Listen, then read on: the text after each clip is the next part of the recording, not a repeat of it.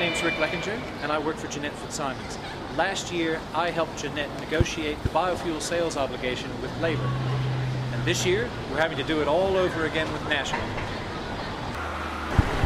This week's news, which you may not have heard yet, is about our new Sustainable Biofuels Bill, which we're putting to Parliament in the next ballot.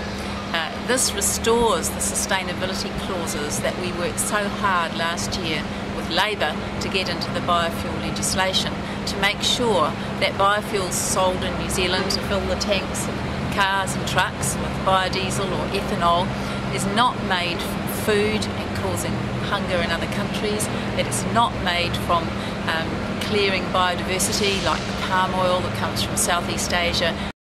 We need to keep New Zealand moving, but we need it moving sustainably. Here in New Zealand, biofuels are made from sustainable feedstocks, things like whey from milk or tallow from uh, the abattoir. These are sustainable feedstocks and it's fine to subsidise them. the end of last year, the new national government repealed the biofuel bill. Now it's decided to subsidise uh, biodiesel in New Zealand uh, to put it on an equal footing with ethanol, which doesn't pay any excise tax, and the subsidy is to make up the difference.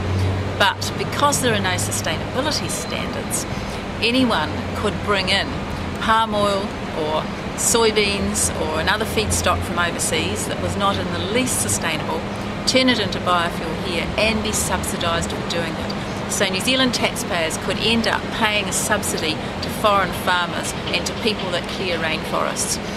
Jeanette's bill will make sure that all biofuels made and sold in New Zealand are sustainable biofuels. If you want to know more about Jeanette's bill or sustainable biofuels in general, visit her profile at www.greens.org.nz.